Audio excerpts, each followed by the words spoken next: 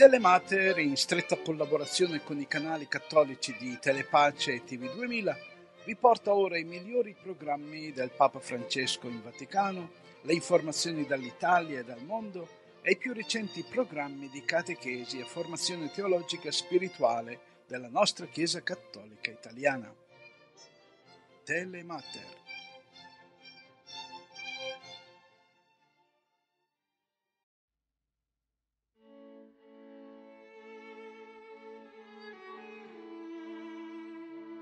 Cari amici del Queens, benvenuti al programma Telemater Queens, la televisione cattolica italiana d'America. Io sono Nicola Signorello, direttore del Telemater Queens, e con me il padre Volta Tolanotto, direttore spirituale di Telemater. Invitiamo tutti gli italiani del Queens a seguire i nuovi programmi di Telemater sul canale 56 della Time Warner Cable Queens Public Television, che andranno in onda ogni lunedì alle 10 del mattino e verranno ripetuti alle 11.30 del mattino di martedì. Invitiamo tutti gli italiani a spargere la voce e di farci compagnia ogni lunedì e martedì mattina qui al Queen's Public Television nel canale 56 di Time Warner Cable. Carissimi amici, benvenuti ai programmi di Telemater.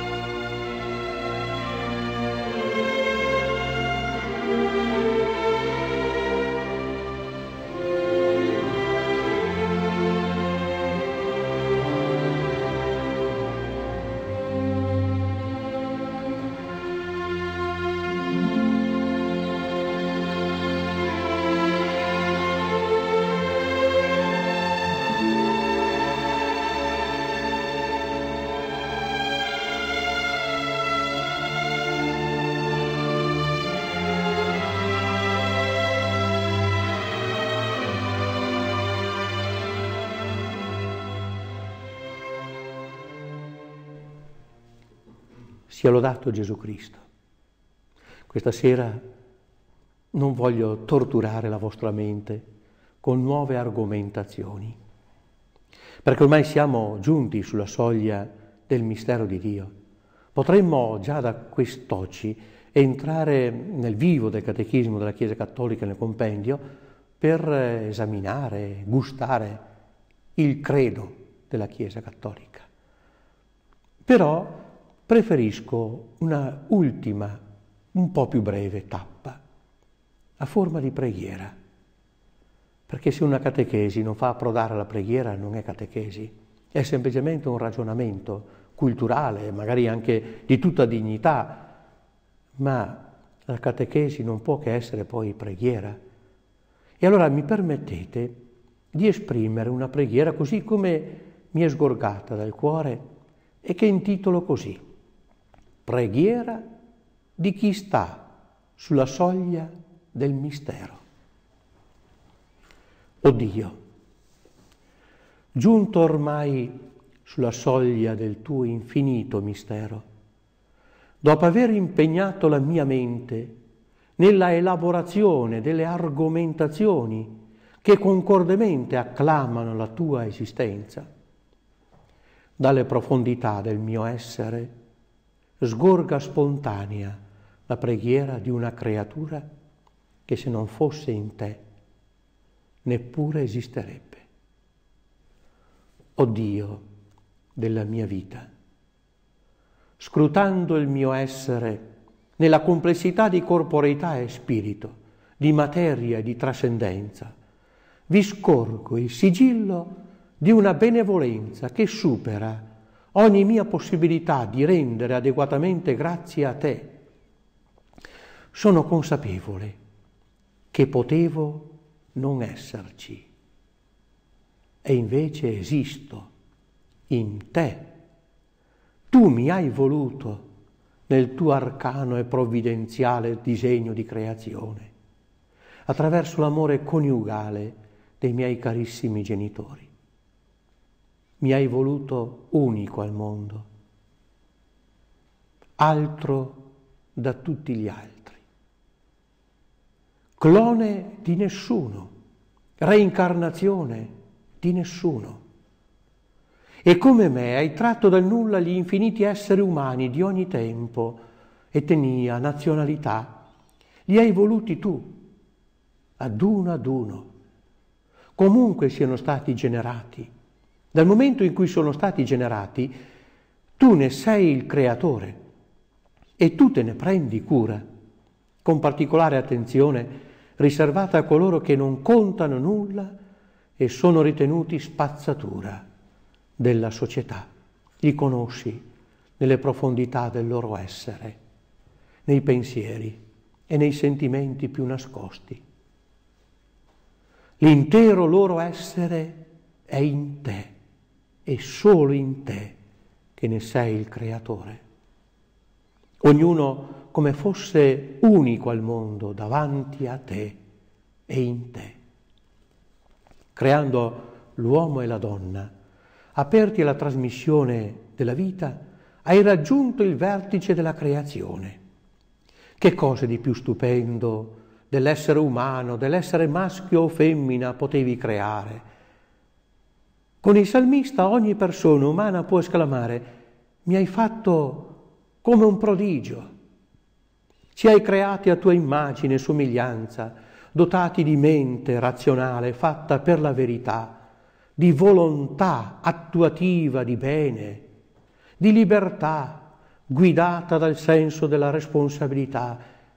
Ci hai fatti persona umana, un io inconfondibile e nello stesso tempo aperto per un bisogno vitale alle relazioni con tutto ciò che esiste, con le persone che condividono l'esistenza e persino con te, come relazione originante di tutte le altre relazioni.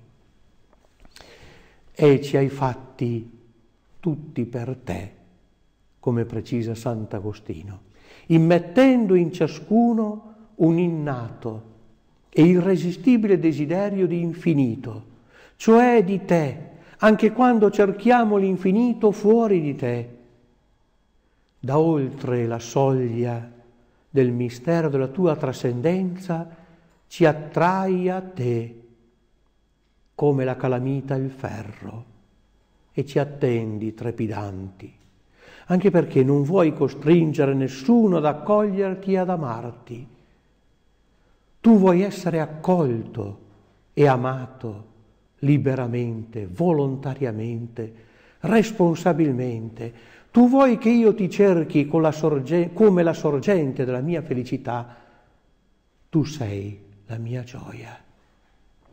O Dio, tu sei il mio Dio.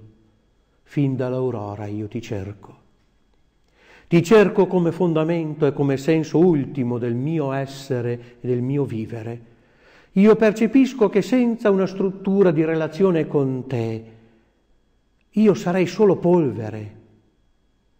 Nell'atto stesso di percepirmi, essere questo io che io sono, percepisco anche te come sorgente del mio essere, appunto perché mi percepisco non in balia, del vuoto del non essere, come sospeso su un burrone, ma ancorato saldamente al mio punto di consistenza, abbarbicato alla roccia della mia vita, tutto il mio essere grida la tua esistenza.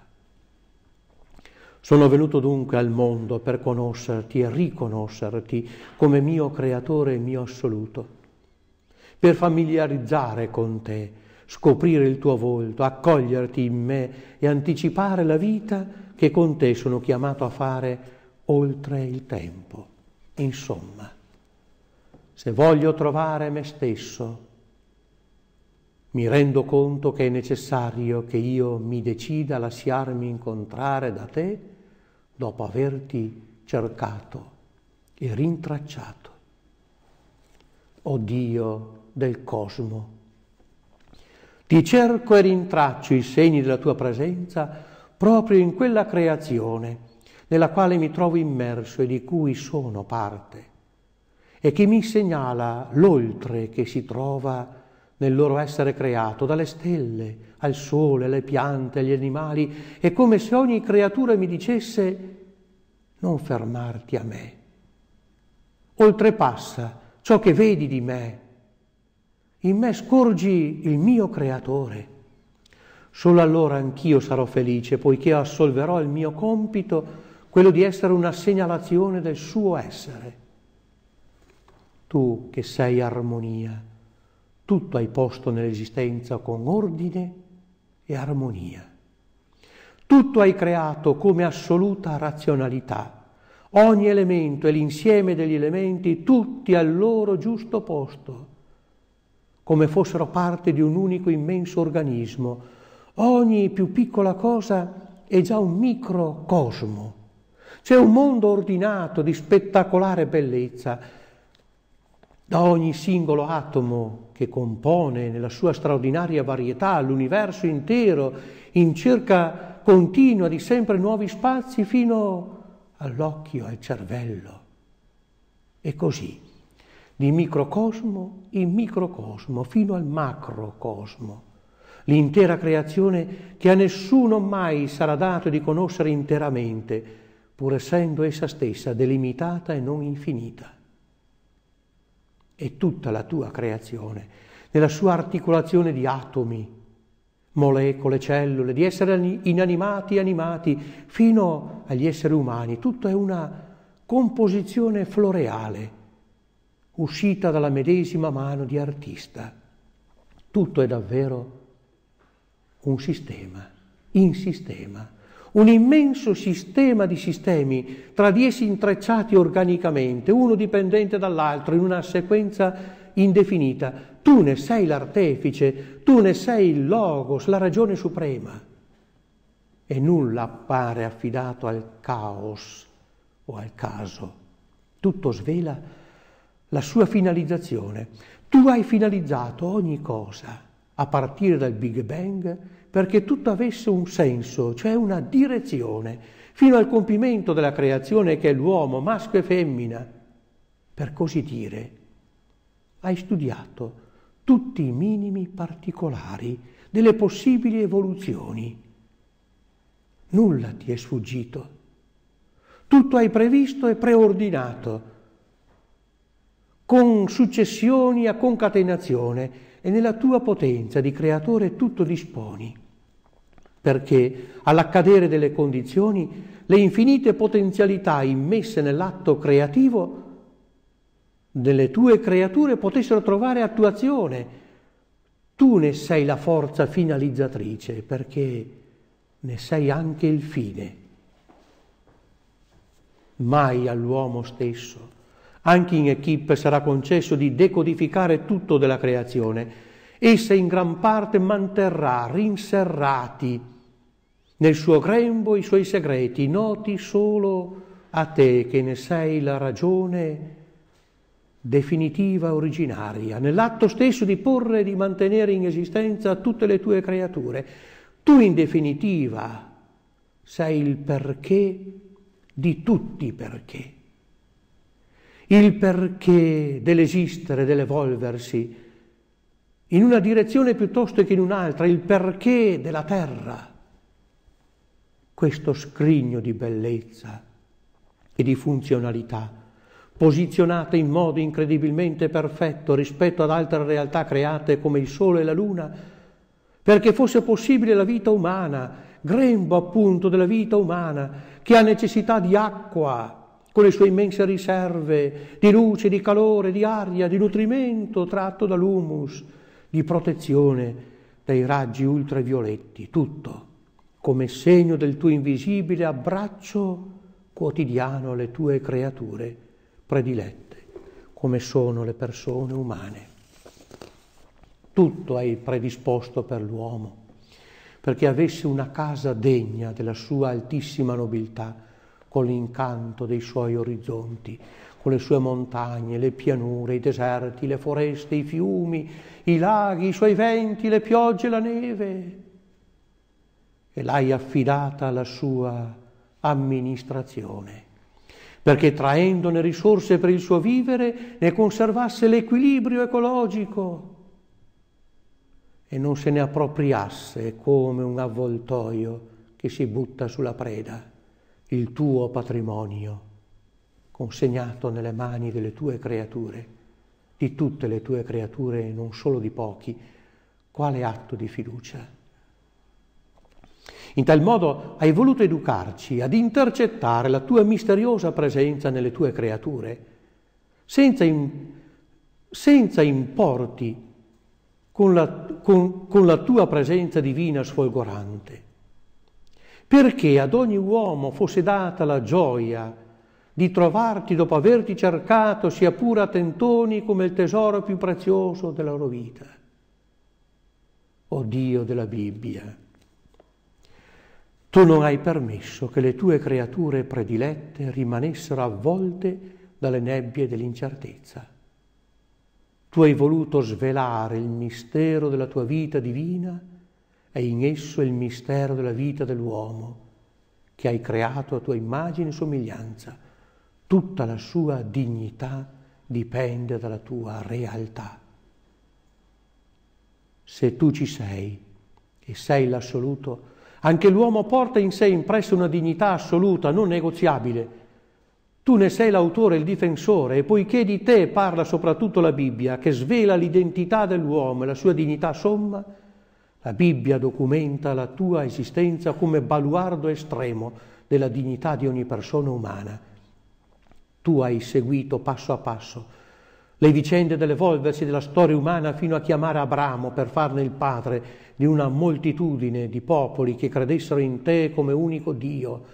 Tu hai eletto un popolo, quello ebreo, da cui sarebbe nato il Messia, e tutto hai svelato del suo agire per mezzo dei profeti degli autori sacri. Tu sei il vero soggetto protagonista della Bibbia, che come sole di verità illumini le misteriose profondità dell'essere umano e gli abissi del suo cuore. Dal tuo esistere dipende tutto l'esistere, la qualità dell'esistere dell'uomo, anche di chi non ti conosce o si rifiuta di riconoscerti. O oh Dio, Padre di Gesù Cristo. Il mistero dell'essere umano nelle sue origini, nel travaglio del suo esistere sulla terra, come preparazione e preludio del suo esistere in te, oltre la barriera della morte trova la sua chiave di soluzione nel tuo figlio fatto uomo, morto per crocifissione, risorto per l'umanità credente, il tuo figlio, dono supremo del tuo amore assoluto per noi uomini, è la verità fatta persona, sul suo essere verità. Tu hai creato ogni cosa e in lui il suo, ha il suo parametro di verità. Lui ci ha parlato di te come di una realtà personale con cui era in continua comunicazione.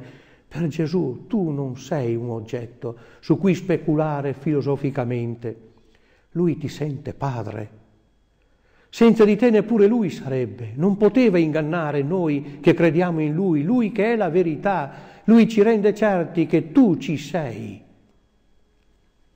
Anzi ci ha rivelato chi sei tu per noi chi siamo noi per te. E poiché vivendo come Lui è vissuto e come Lui ci ha insegnato a vivere, la nostra vita di uomini raggiunge la sua sublimità di perfezione, senza cedimenti e illusioni, siamo ancora più certi che è la verità e che dice tutta la verità quando parla dell'uomo, ma ancora prima quando parla di te. È Lui, poi che ci ha inseriti in una comunità di credenti, immessa nell'alveo della storia com'è la tua Chiesa, che documenta senza equivoci la tua esistenza, o oh Dio della Chiesa di Cristo. Tu sei la sua ancora di salvezza. Se essa non avesse te come sua forza, da tempo, fin dall'inizio del suo esistere, sarebbe inabissata. Chi l'ha salvata da violentissime persecuzioni e avversità, che come turbini impetuosi si sono scatenate contro di essa di secolo in secolo, se non tu che l'hai voluta, di questa Chiesa, io sono membro e in essa ho trovato tutti i mezzi di salvezza. Questa tua Chiesa, santa, cattolica, apostolica, sta nella storia a testimoniare la tua presenza salvifica universale, Ad essa hai fatto dono di tutti gli strumenti di bordo che servono per far approdare l'umanità redenta al porto della salvezza eterna come strumento efficace di comunicazione con te. Anch'io in questo momento, come membro della tua Chiesa, ho la certezza di essermi messo in comunicazione con te, nella via comunicativa della preghiera. Del resto, a chi avrei rivolto la mia preghiera? Questa mia preghiera, confidente, se tu non ne fossi il destinatario certo e reale.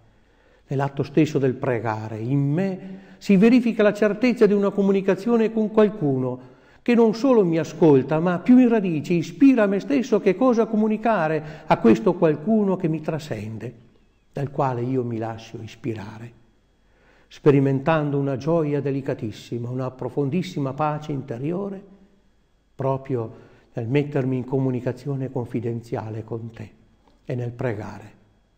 Ti percepisco come la vera soluzione di tutte le possibili incognite, anche di quelle che io mai vorrò, verrò a conoscere.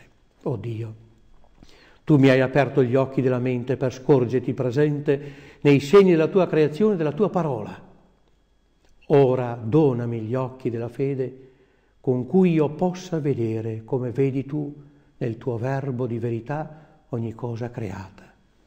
Fammi partecipe della fede apostolica di cui hai costituito la tua Chiesa, profeta maestra, ammiraglio e testimone, che io possa accostarmi con umile disponibilità, adorante al deposito del patrimonio di fede che hai affidato alla tua Chiesa e che il Magistero ha il compito di custodire intatto e di annunciare integralmente agli uomini di tutti i tempi, perché vengano a conoscere le profondità del loro essere, un mistero che solo nella trascendenza del tuo mistero di amore trinitario trova il motivo di essere, di vivere e di sperare oltre il tempo del vivere terreno, non più ingolfati nelle sabbie mobili del dubbio, ma aperti al mistero dal quale ogni uomo trae origine e dignità non solo di creatura, ma persino di figlio nel figlio, o Dio,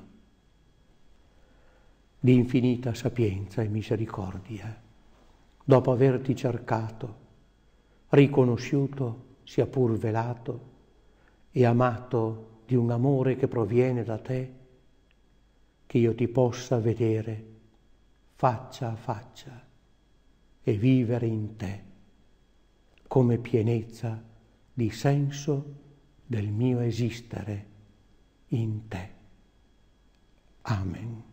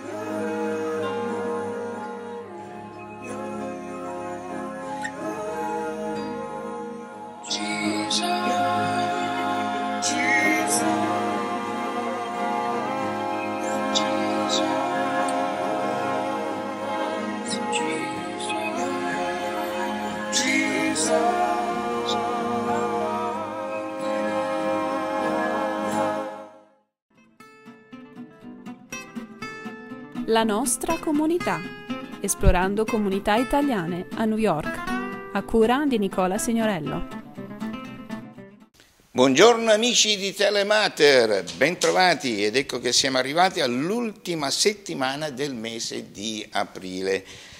Se siete stati con noi nelle scorse puntate abbiamo parlato della vocazione. Che cos'è la vocazione?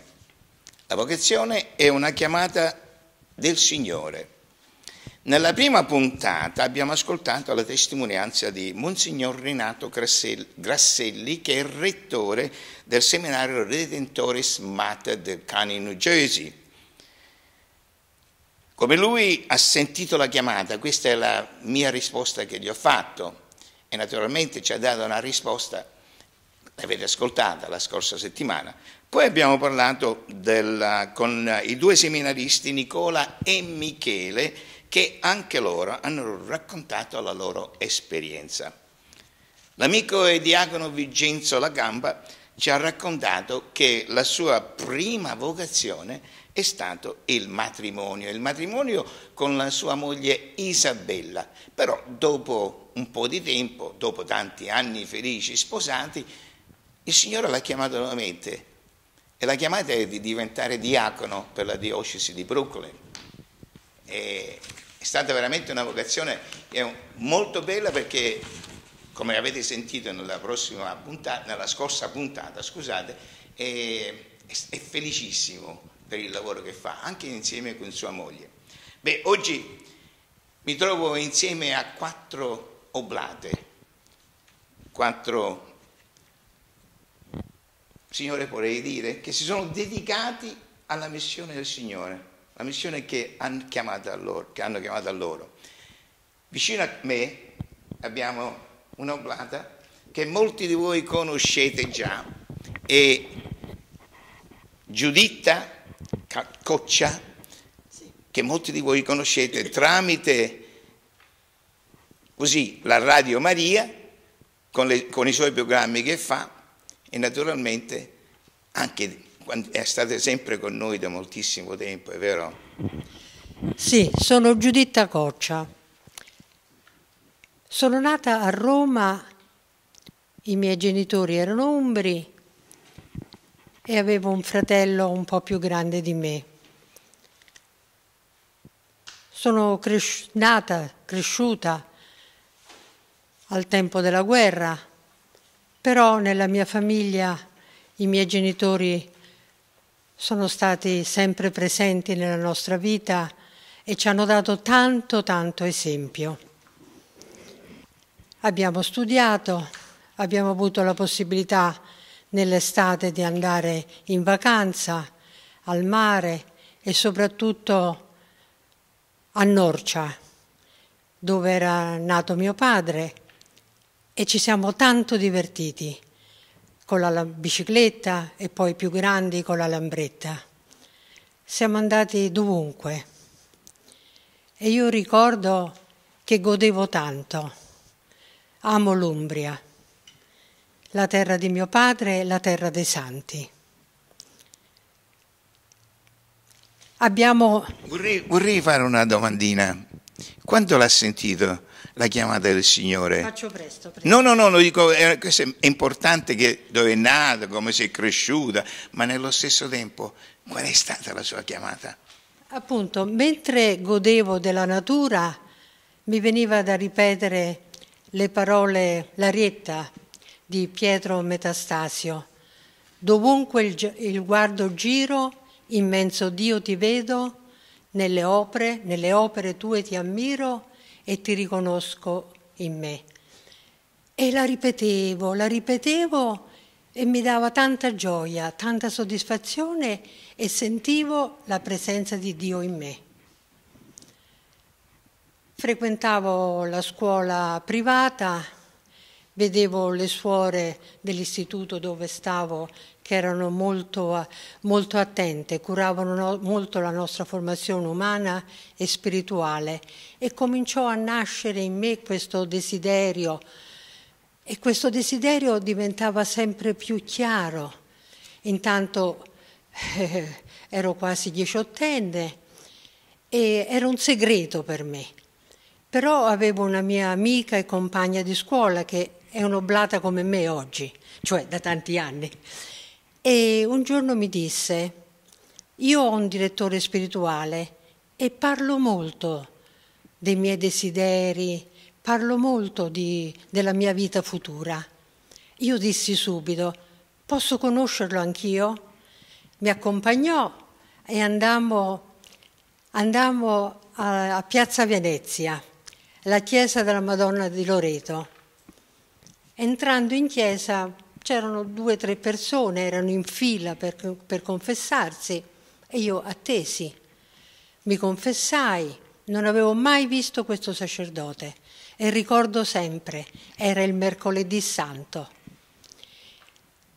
Mi confessai e mi disse, figlia, ha mai pensato al suo futuro, a quale stato di vita il Signore la chiama?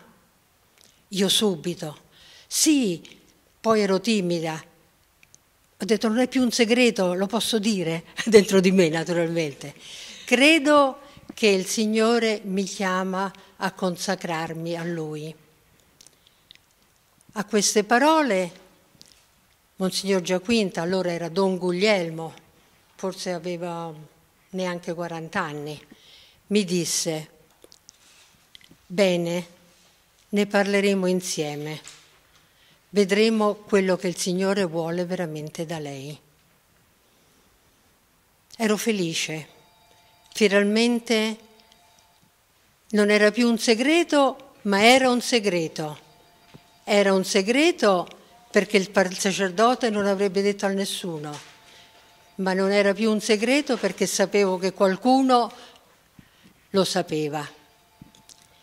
Comunque mio padre era funzionario del Ministero delle Poste e molto spesso veniva inviato in varie città d'Italia a rappresentare il Ministero delle Poste durante i concorsi. Io avevo sempre la valigetta pronta, ero sempre pronta ad andare con lui. Dissi al mio fondatore, cioè al mio confessore, io avrò la possibilità di andare a, Fio- a Foggia, quindi andrò a, a vedere Padre Pio. Con tutta calma mi rispose, figlia, si confessi. Figlia gli dirà, parli col suo direttore spirituale e faccia quello che il direttore spirituale le dirà. Io andai, partecipai alla messa, mi confessai, dissi quali erano i miei desideri, qualche cosa il Signore credevo che si aspettasse da me e mi disse faccia quello che il direttore spirituale le dirà. Poi andai in, in sacrestia, mm, mi carezzò, mi sorrise e mi benedisse. Lo ricordo come se fosse ieri. Così devo dire che il mio confessore fu un profeta, perché veramente quello che mi disse si ripetette, insomma avvenne. E per molti anni mi sono lasciata guidare, consigliare e scegliere la vocazione, una vocazione secolare. Io dall'inizio pensavo una vocazione religiosa, ero stata solo esposta a quello, avevo visto le suore, mi piaceva come sembravano attente, come veramente vivevano la loro vocazione. Comunque una vocazione da vivere nel mondo, da essere nel mondo, in mezzo al mondo, ma non del mondo. Vorrei chiedere una domandina. Quanti anni è oblata? Più di 50 e lo rifarei dal primo giorno. Molto grazie. Naturalmente, qual è il lavoro delle oblate? Che fate?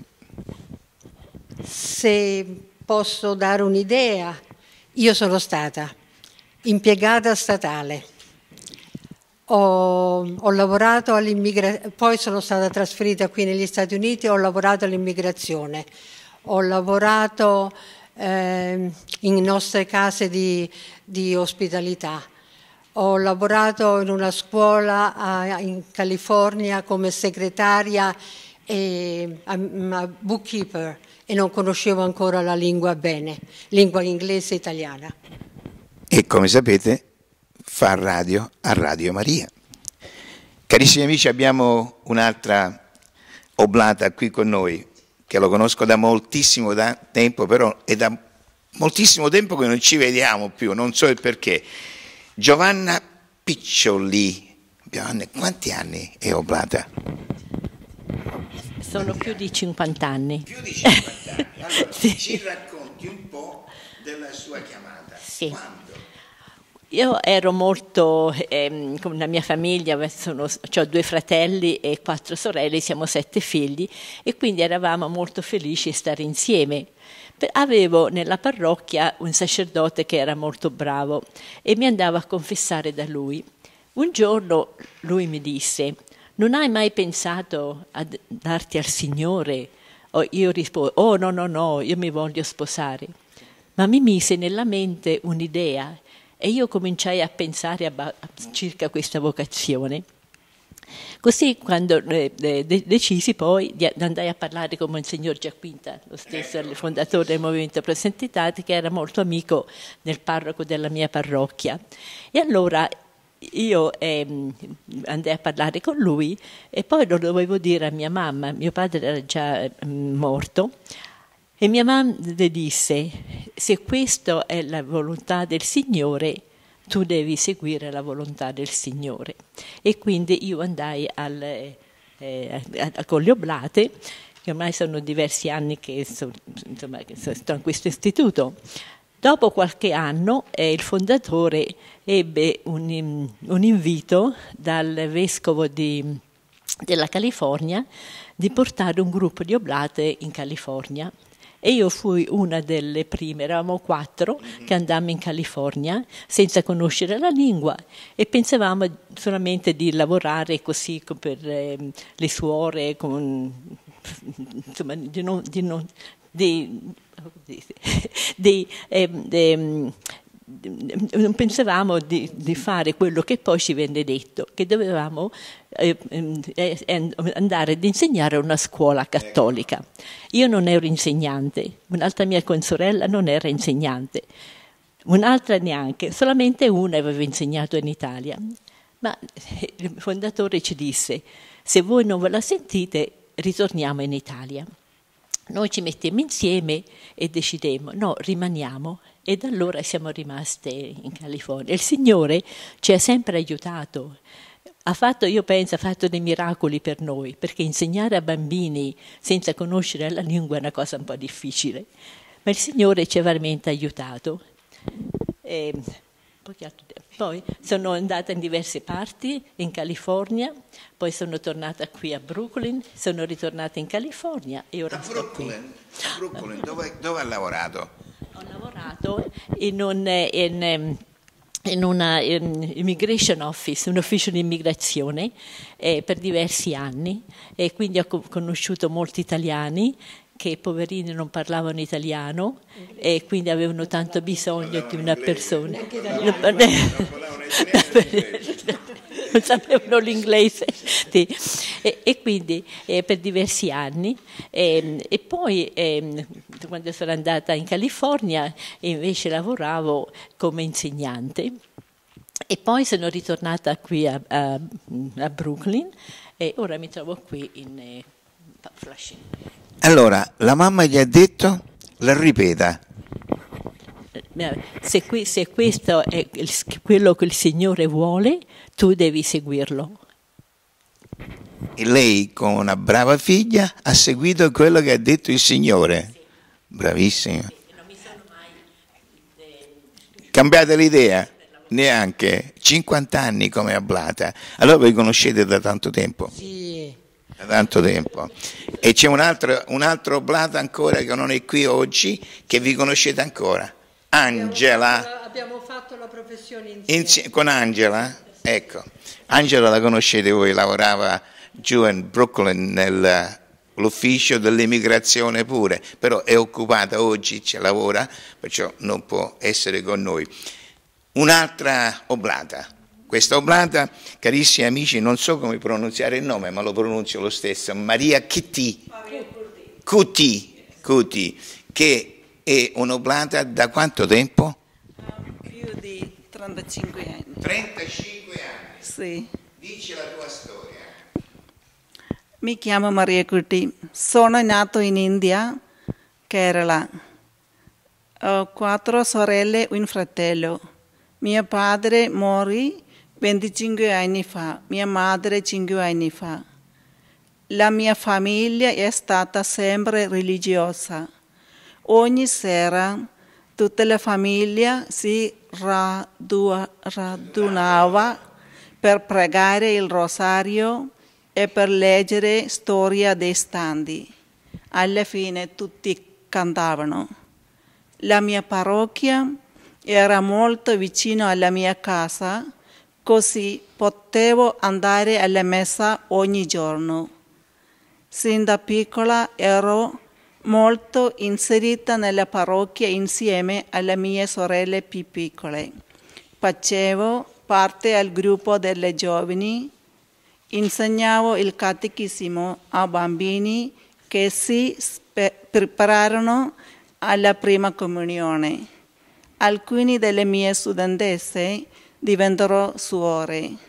Sin da quando era piccola, quando era otto, otto anni, pensavo di diventare missionari, missionaria, lavorando nella vigna del Signore. Ogni anno i missionari venivano nella mia parrocchia e parlavano del loro lavoro missionario che svolgevano nelle varie parti dell'India. Il loro es- esempio di gioia e di lavoro mi attira- attirarono. Anche io volevo essere missionaria. Molte persone in India non avevano mai sentito parlare di Gesù e io sentivo il desiderio di condividere l'amore di Gesù con queste persone. Quando desiderio non mi hai mai lasciato. Ogni anno molte suore venivano nelle parrocchie, invitavano le giovani ad entrare nel loro convento. Io pregavo il Signore che mi facesse capire dove mi voleva per servirlo. Nel frattempo la mia sorella più grande era andata in Italia per unirsi a un gruppo missionario delle oblate apostoliche. Si scriveva e ci diceva quello che le oblate apostoliche facevano in Italia. Il loro stile di vita era un esempio per me. Sentendo questo, questo prega, pregai, pregai molto per conoscere se il Signore aveva scelto per me questa vita. Dopo aver terminato la scuola superiore, andrai nell'Istituto delle Oblate Apostoliche Laiche Consacrate.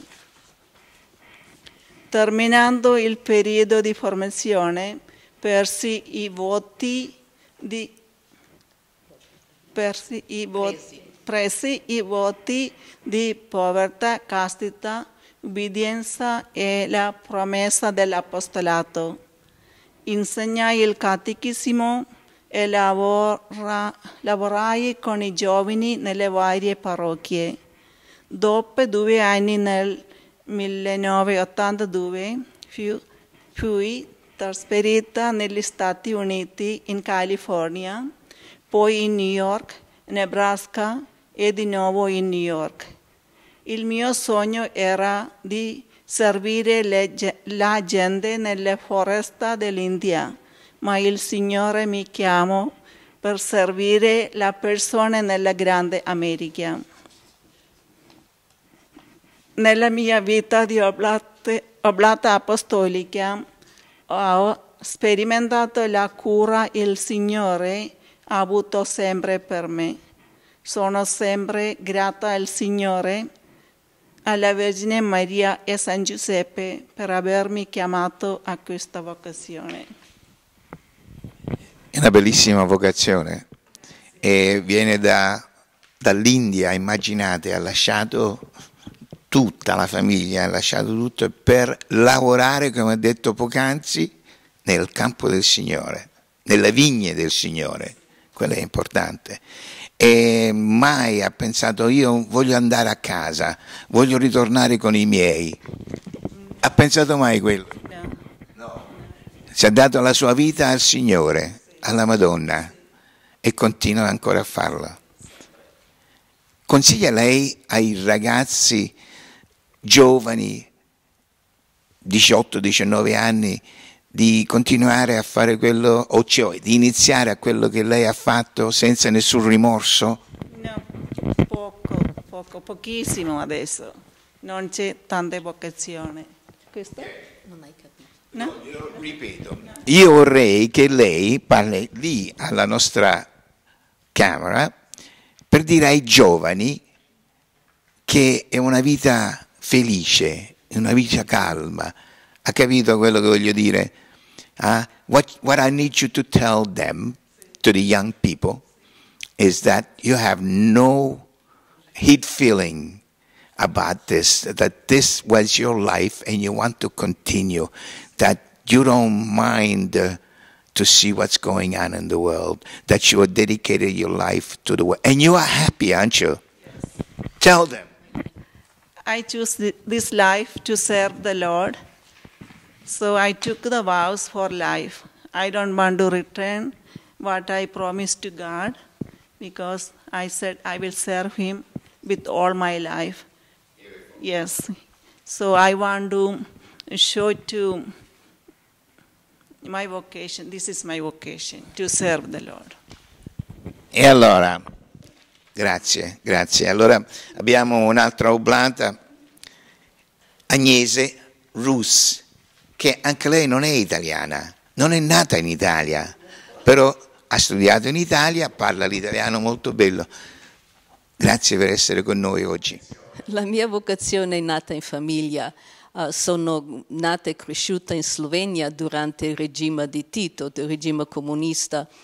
E spe- spesso sentivamo dei sacerdoti, suore che dovevano lasciare i conventi, sacerdoti che venivano incarcerati, amici di mio padre che erano cattolici che venivano uh, uccisi oppure incarcerati. E mamma, ogni sera la mamma ci diceva preghiamo per loro, preghiamo, perché rimanessero fedeli alla loro vocazione, a quello che il Signore vuole da loro. E piano piano questa idea di dare tutto al Signore, di essere fedele al Signore è entrata nella mia anima, ho cominciato a pensare a, una possibile vocazione missionaria anch'io, eh, volevo andare in Africa per tanti anni, poi quello un po' l'ho lasciato. Uh, la vocazione in un certo senso è nata con um, la visita di un sacerdote gesuita, padre Remaz, che aveva sposato i miei genitori. Quando lui è venuto dopo nove anni di, dove è stato in carcere, parlando con noi della sua vita, non c'era nessuna amarezza, c'era soltanto la, la, gioia di aver potuto offrire qualche cosa, la sua sofferenza per il Signore, per la, per la gioventù slovena che rimanesse fedele alla vocazione.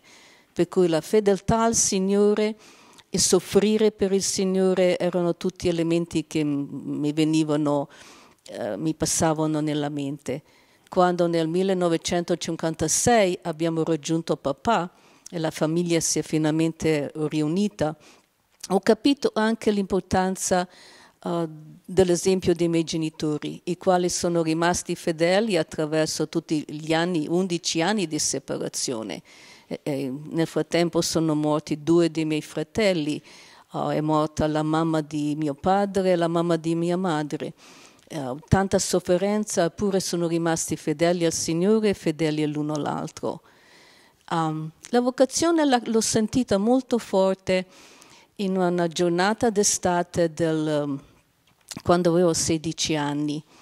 Um, uh, in Slovenia, ma penso anche in Italia, um, c'era la tradizione di dire l'Angelus a mezzogiorno.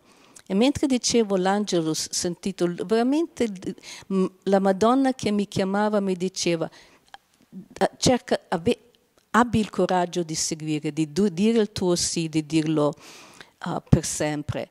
E l'ho sentito con tanta gioia e ho detto sì Signore, è il mio sì definitivo e ho chiesto alla Madonna di aiutarmi.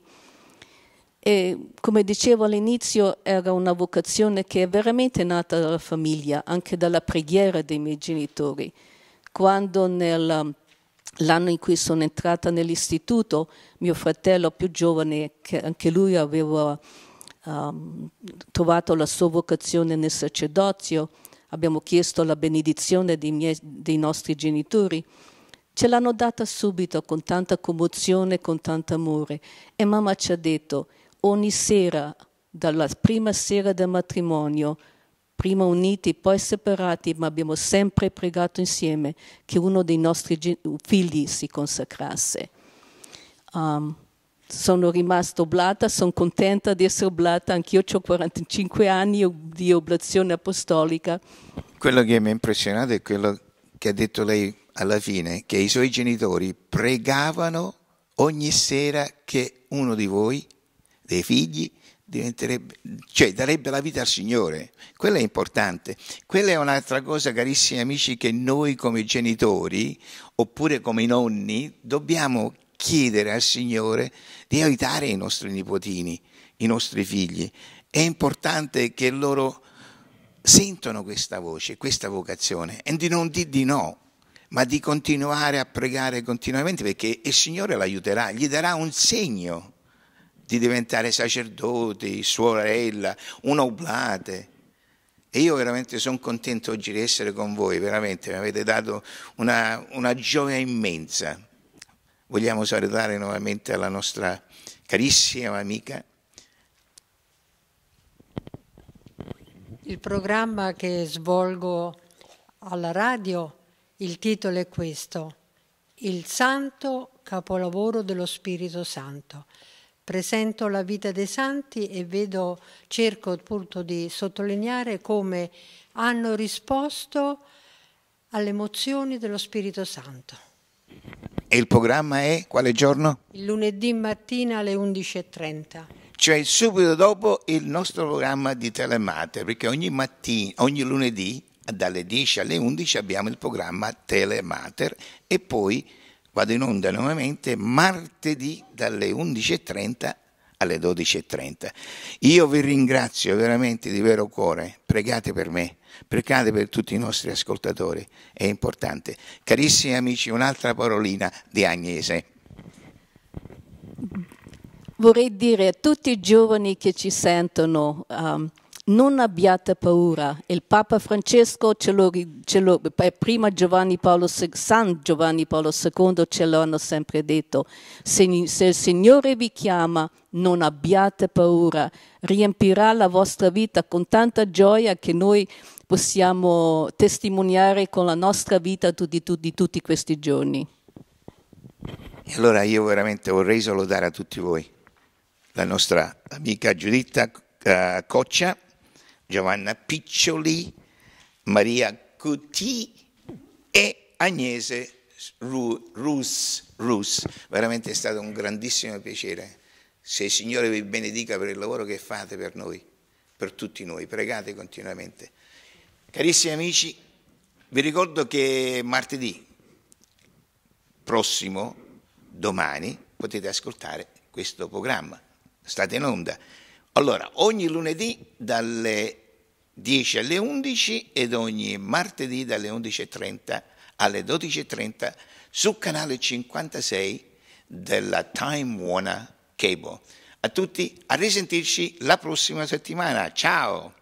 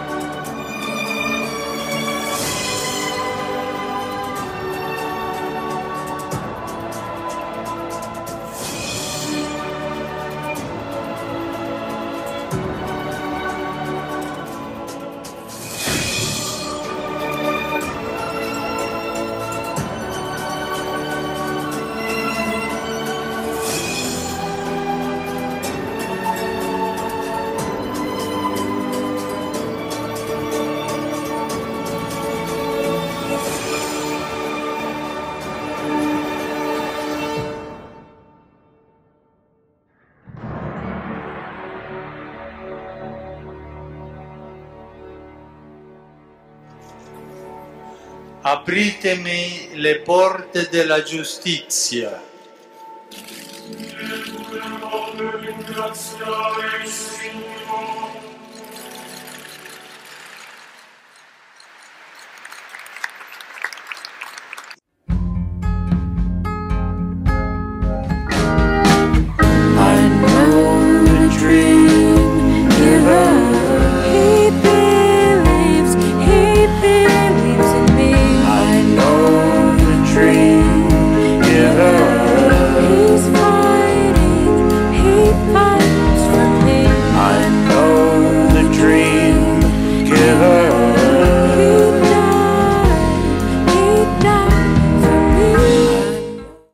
The Italian Catholic television channel, is on 24 7 for the Italians in America. Get your free app on your iPhone and Android. Also available on your Roku TV platform, Samsung, and other smart TVs. For more information, go to www.telemater.org forward slash instructions.